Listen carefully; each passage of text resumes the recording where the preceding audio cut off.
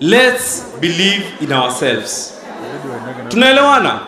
Na mimi nikiwaona hapa nataka kuambia hivi. There is hope in kenya.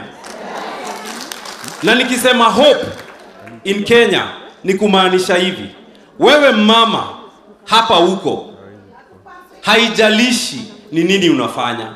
Haijalishi ni wapi umetoka. Haijalishi ni wapi umesomea as long as wewe ni mkenya uko na nafasi yako. As long as wewe ni mkenya wewe pia unaweza kuwa mtu. Si lazima tutafute majina zile tumezisoma kwa GHC na history hizo ndio zikuja zikuwe history hapa. Na Hustler Nation it's all about hope. The Hustler Nation it's all about opportunity kwa kila Mkenya. The Hustler Nation it's all about ule mtu wa chini pia pia yeye siku moja anaweza kuwa na sauti hii Kenya.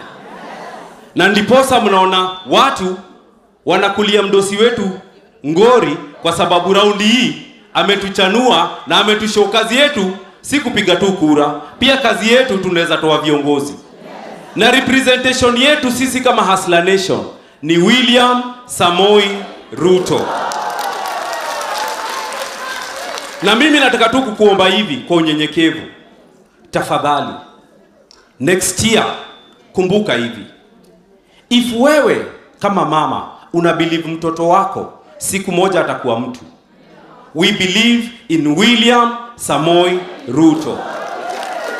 Na hiyo wall lazima tutaibreak tunaelewana?